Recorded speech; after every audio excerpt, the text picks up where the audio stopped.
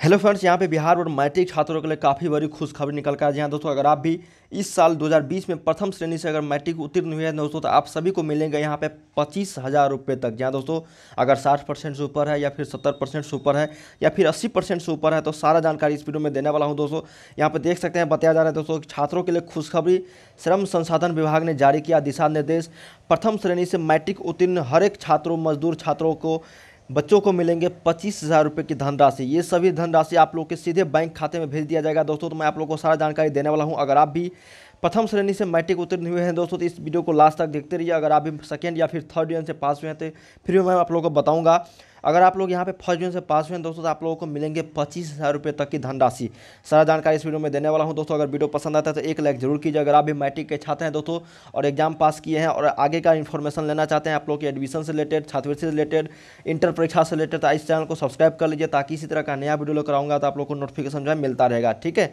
तो यहाँ पे देख सकते हैं, दोस्तों, बताया जा रहा है अगर किसी भी तरह का प्रश्न है तो ज़रूर मुझे कमेंट कीजिएगा, वीडियो को ज़रूर शेयर कर दीजिएगा। देखिए, बताया जा रहा था कि प्रथम श्रेणी से मैट्रिक उत्तीर्ण मजदूरों के बच्चों को मिलेंगे पच्चीस हज़ार रुपये लिंक नीचे डिस्क्रिप्शन में दे डालूँगा। दोस्तों, इसको पढ़ने के लिए आप लोग सारा जाके पढ़ सकते हो वेबसाइट के माध्यम से। आप लोग को वहाँ पर सारा जानकारी मिल जाएगा, ठीक है? देखिए क्या क्या लगेगा दोस्तों? सारा जानकारी इस वीडियो में आप लोग को देने जा रहा हूँ। सीधे बैंक खाते में भेजी जाएगी पुरस्कार की राशि, अंक पत्र के साथ कार्यालय में लिया जाएगा आवेदन। यहाँ दोस्तों, मार्कशीट जब जैसी आएगा तो आप लोगों को कार्यालय में लिया जाएगा आवेदन, अंक पत्र के साथ, मार्कशीट के साथ। ठीक है, अभी नहीं लिया जाएगा जब जैसी मार्कशीट आता है तो। यहाँ पे बताया जा रहा है दोस्तों कि प्रथम श्रेणी से मैट्रिक की परीक्षा उत्तीर्ण होने वाले श्रमिकों के बेटे एवं बेटियों के लिए एक और सुखद खबर है। श्रम साधन विभाग ने उनके लिए अपना खजाना जो है खोल दिया है और नगद राशि पुरस्कार देने का फैसला लिया है। ये बहुत सारे डॉटनेट पर होगा अब आपके सभी मैथ, केमिस्ट्री, फिजिक्स और बायोलॉजी डॉट्स का सफाया। बस क्वेश्चन की फ़ोटो खींचो, उसे क्रॉप करो और उसे सबमिट करो। और बस तीन सेकंड के अंदर उसका वीडियो सोल्यूशन पाओ। क्लास सिक्स टू ट्वेल्व से लेकर NEET I I T JEE mains और एडवांस लेवल का। तो आज ही डाउनलोड करें. डॉट नॉट ऐप लिंक नीचे डिस्क्रिप्शन में दिया गया है।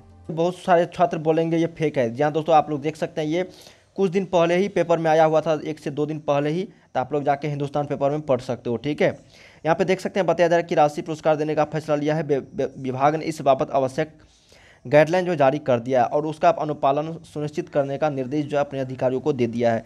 पुरस्कार लेने के लिए मजदूरों का विभाग ने निबंधन होना ज़रूरी है। गैर निबंधित मजदूरों को इसका लाभ नहीं मिलेगा, ठीक है? आप लोगों को मजदूर के अगर बच्चे होंगे तभी आप लोग को मिलेगा, ठीक है? बिना मजदूर के आप लोग अगर मजदूर नहीं है आपके पिताजी तो आपको ये धनराशि नहीं मिलने वाला है, ठीक है? यानी मतलब बीपीएल में जो है उसी को शायद मिलेगा ओबीसी में। यहाँ पे बताया जाए कि श्रम अधीक्षक राकेश रंजन ने बताया कि श्रमिकों व उनके बच्चों की बेहतरी के लिए कई योजनाएँ हैं, जिसमें प्रथम श्रेणी से मैट्रिक उत्तीर्ण होने वालों के लिए नगद पुरस्कार देना भी शामिल है।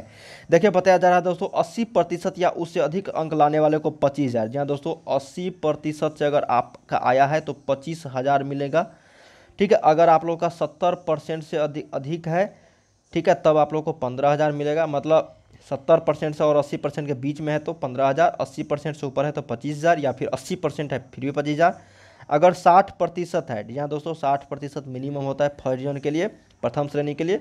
अगर फ़र्स्ट डिवीज़न आपका है तो यहाँ पे दस हज़ार रुपये लगेंगे, ठीक है? और आवेदन के साथ साथ क्या क्या लगेगा मैं आप लोग को वो बता देता हूँ, ठीक है? दस हज़ार रुपये आप लोग के यहाँ पे लगने वाला है तो ये मैंने आप लोग को यहाँ पे बता दिया, ठीक? है अस्सी परसेंट पच्चीस हज़ार, सत्तर परसेंट पंद्रह हज़ार, साठ परसेंट दस हज़ार। साठ से सत्तर परसेंट वाले को दस हज़ार सत्तर से अस्सी परसेंट वाले को पंद्रह हज़ार अस्सी परसेंट से एक सौ परसेंट के बीच में पच्चीस हज़ार।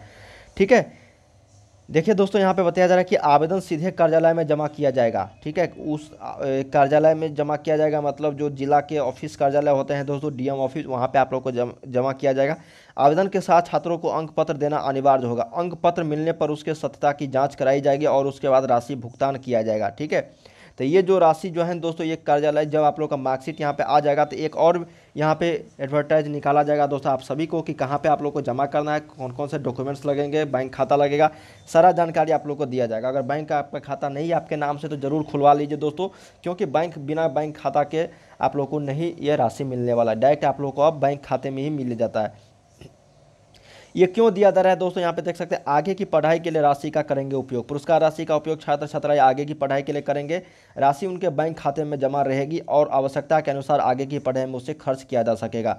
बताया गया है कि पढ़ाई करने की मंशा रखने वाले श्रमिकों के बेटे एवं बेटियों के लिए सरकार कई स्तर से काम कर रही है।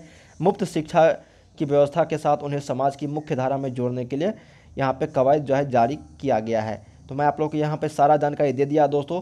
मैट्रिक या दोस्तों, मैट्रिक छात्रों के लिए खुशखबरी था दोस्तों। जो भी छात्र यहाँ पे मैट्रिक श्रेणी से पास हुए हैं मतलब मैट्रिक में प्रथम श्रेणी से पास हुए हैं तो आप सभी को पच्चीस हज़ार रुपये तक की धनराशि आप लोगों के सीधे बैंक अकाउंट में मिलने जा रहा है। अगर आप इंटर पास हुए हैं दोस्तों तो इंटर वालों के लिए भी आप लोगों को यहाँ पे निकलता है, ठीक है? तो उसके लिए भी आप लोग इंतज़ार कीजिए, जैसे भी कोई एडवर्टाइज आता है तो मैं आप लोग को बताने चलूँगा, ठीक है? ये आप लोग जाके हिंदुस्तान पेपर में सारा जानकारी पढ़ सकते हो, या फिर लिंक नीचे डिस्क्रिप्शन दिया गया है मोबाइल यहाँ पर वेबसाइट का। तो आप लोग जाके उसको भी पढ़ सकते हो। ठीक है, उम्मीद करते हैं इस वीडियो के माध्यम से सारी जानकारी मिल गया होगा दोस्तों। वीडियो को लाइक करके शेयर ज़रूर कीजिएगा। ठीक है, वीडियो पसंद है तो लाइक कीजिए, चैनल को सब्सक्राइब कर लीजिए आगे के वीडियोज़ को पाने के लिए, क्योंकि इसी तरह से आप लोगों को बताया जाता है दोस्तों, जो भी छात्रवृत्ति का फॉर्म आता है तो। ठीक है?